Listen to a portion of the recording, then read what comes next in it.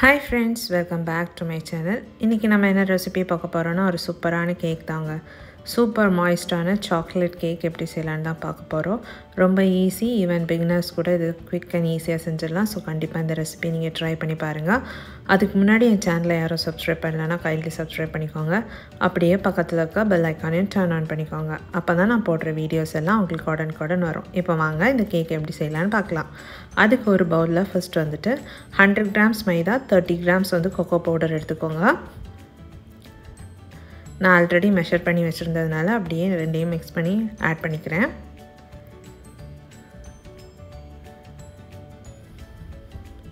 இப்போ இதில் நல்லா மிக்ஸ் பண்ணி விட்டுருங்க.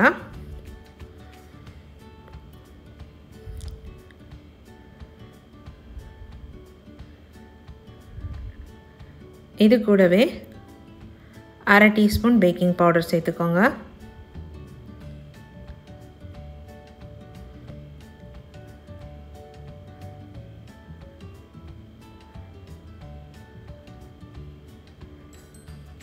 கூடவே வந்துட்டு பேக்கிங் சோடாவை ஆட் பண்ணணும். ஸோ அதுவும் ஒரு கால் டீஸ்பூன் அளவுக்கு ஆட் பண்ணிக்கோங்க.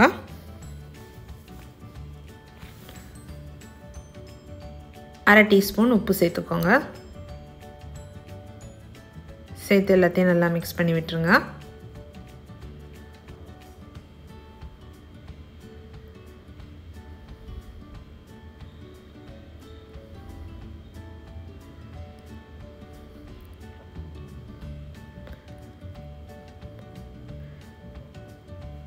இதில் இப்போ நம்ம வந்துட்டு ரெண்டு முட்டை ஆட் பண்ணிக்கலாம்.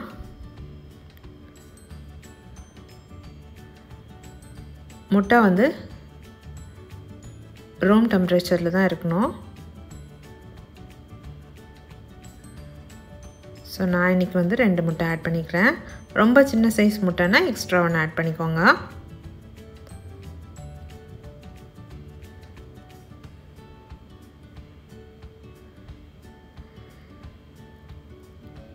இது கூடவே நம்ம நெக்ஸ்ட் வந்துட்டு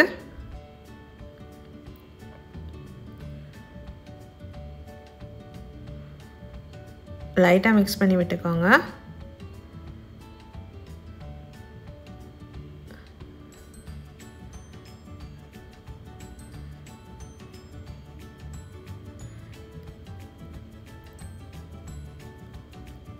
இது கூடவே நம்ம வந்து ஒரு ஒன் தேர்ட்டி கிராம்ஸ் வந்து சுகரை பவுட்ரு பண்ணி ஆட் பண்ணிக்கோங்க.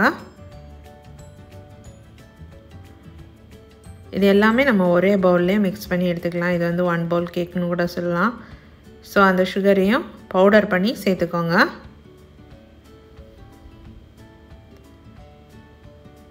இதில் இப்போ நம்ம வந்துட்டு ஒரு டீஸ்பூன் அளவுக்கு வெண்ணிலா எசன்ஸ் ஆட் பண்ணிக்கோங்க. சாக்லேட் கேக் தான் பட் சில டைம் வந்துட்டு இந்த எக் ஸ்மெல் வரும். ஸோ வந்துட்டு வெண்ணிலா எசன்ஸ் வந்து ஒரு டீஸ்பூன் அளவுக்கு ஆட் பண்ணிக்கோங்க. அது கூடவே எயிட்டி எம்எல் வந்துட்டு பட்டரை மெல்ட் பண்ணி ஆட் பண்ணிக்கோங்க. அன்சால்டட் பட்டரை வந்துட்டு மெல்ட் பண்ணி ஆட் பண்ணிக்கோங்க. சப்போஸ் உங்ககிட்ட பட்டர் இல்லைன்னா நீங்கள் eighty ml any kind of vegetable oil வந்து யூஸ் பண்ணிக்கலாம்.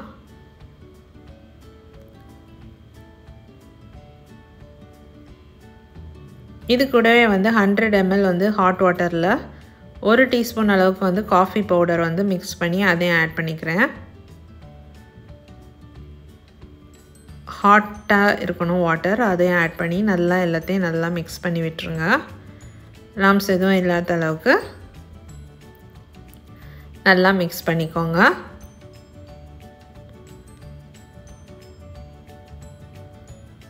இப்போ வந்து ஒரு பார்ச்மெண்ட் பேப்பர் போட்டு பேக்கிங் பேனை வந்து ரெடி பண்ணிக்கோங்க.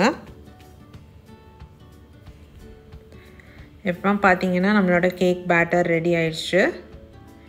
இந்த அளவுக்கு எல்லாத்தையும் நல்லா மிக்ஸ் பண்ணி எடுத்து வச்சுக்கோங்க.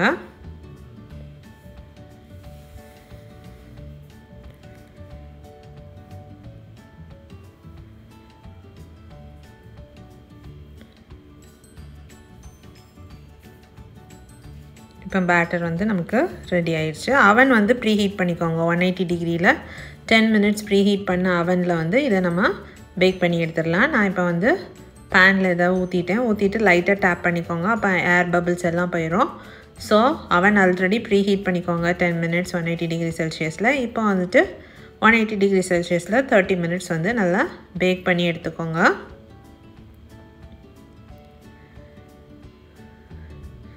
பார்த்தீங்கன்னா சூப்பராக நம்மளோட கேக் பேக் ஆயிடுச்சு. சைடெல்லாம் நல்லா விட்டு வந்துடுச்சு. அப்படின்னாலே நம்ம கேக் வந்து நல்லா பேக் ஆயிடுச்சுன்னு அர்த்தம். இதை வந்து நல்லா ஆற வச்சுருங்க.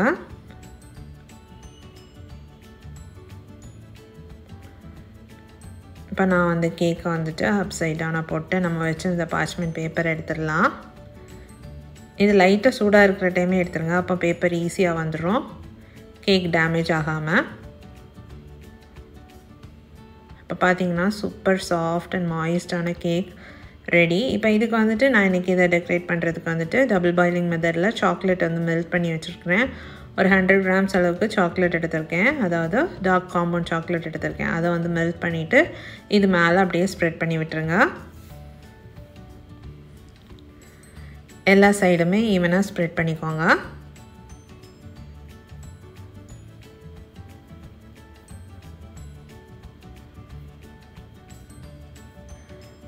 கேக் ஃபுல்லாக இப்படி கவர் பண்ணிக்கோங்க இதை வச்சு.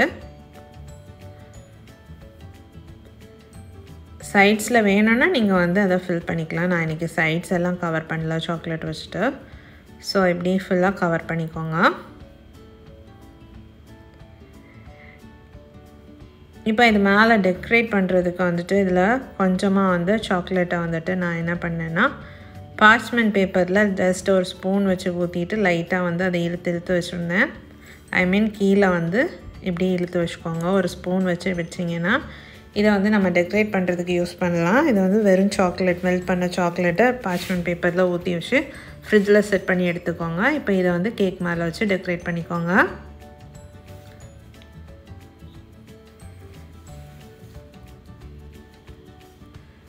ஃபுல்லாக இப்படி அங்கங்கே வச்சு டெக்கரேட் பண்ணிக்கோங்க.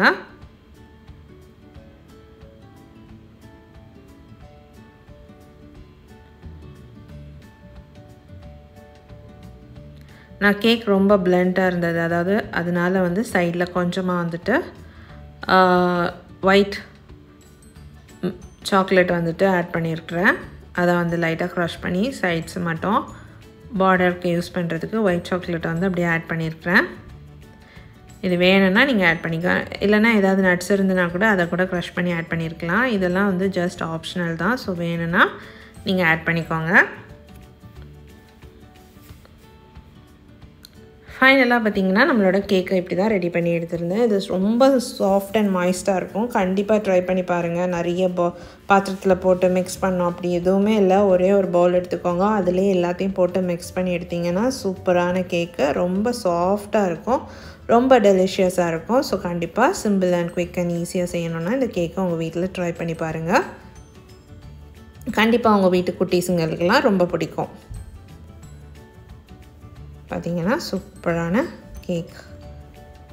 நல்ல மாய்ஸ்டாக நல்ல ரிச்சான சாக்லேட் கேக் ரெடி ஸோ கண்டிப்பாக நீங்களும் உங்கள் வீட்டில் ட்ரை பண்ணி பாருங்கள் இதே மாதிரி நிறைய ரெசிபீஸ் நம்ம சேனலில் இருக்குது ஸோ என் சேனலை மறக்காமல் சப்ஸ்கிரைப் பண்ணுங்கள் லைக் பண்ணுங்கள் ஷேர் பண்ணுங்கள் வீடியோ பிடிச்சிருந்துச்சுன்னா மறக்காமல் ஷேர் பண்ணி கொஞ்சம் சப்போர்ட் பண்ணுங்கள் தேங்க்யூ